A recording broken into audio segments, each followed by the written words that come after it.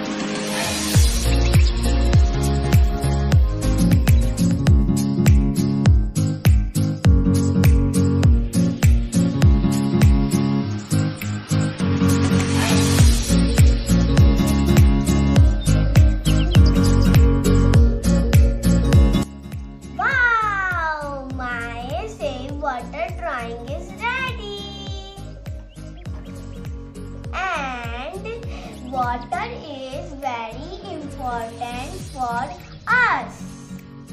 without water, we cannot live on the earth. So, save water and.